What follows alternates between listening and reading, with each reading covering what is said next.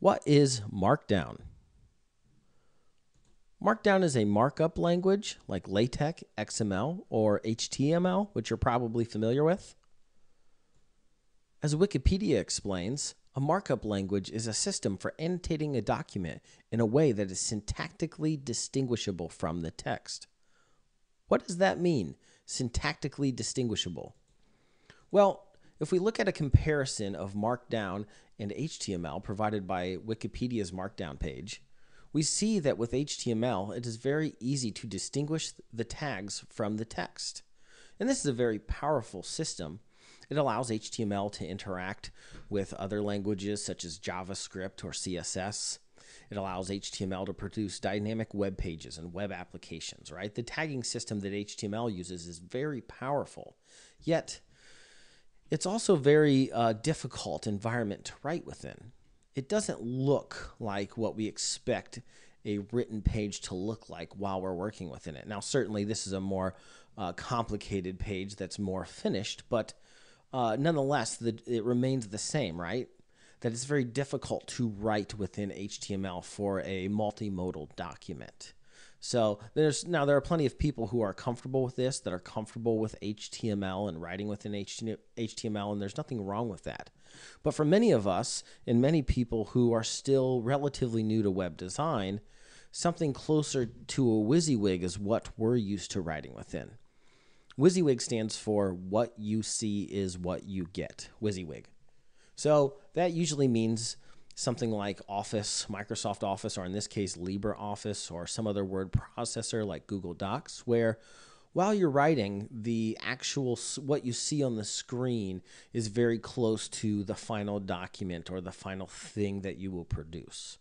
So this is very comfortable for writing, but it's not very powerful for adding inline text or code or tags or things of that nature. So Markdown attempts to be a compromise between the two, where on one end you have HTML tags and all the power that is provided by that as one example on the far extreme, and on the other you have the full WYSIWYG environment where what you see is what you get. With Markdown, as you can see here on the left, the tagging is still very readable. It's still a writer friendly environment. Yet you get things like the ability to put an inline link in text or to put the formatting uh, for italics or strike through or uh, changing the font in text, right? But and what you see over here on the right hand side, while cleaner and rendered, in uh, what it would look like if the HTML was put directly in a browser, it is not all that different from the markdown over here on the left side. If we go to daringfireball.net, the site owned by John Gruber, the original creator of Markdown, we see that this was his original design intention in creating Markdown. As he explains on his site, the overriding design goal for Markdown's formatting syntax is to make it as readable as possible. The idea is that a Markdown formatted document should be publishable as is, as plain text, without looking like it's been marked up with tags or formatting instructions. And as he explains at the last part of the paragraph, the single biggest source of inspiration for Markdown syntax is the format of the plain text email. So you're probably thinking, how powerful can it be for something that's meant to just look like a plain text document or an email for web design or the creation of a web text? Well, that's what this website will uh, try to show you. Uh, on the resources page, there'll be a full range of resources for everything from showing how to basically learn Markdown or get involved to other things to using Markdown to create full web texts, websites, blogs.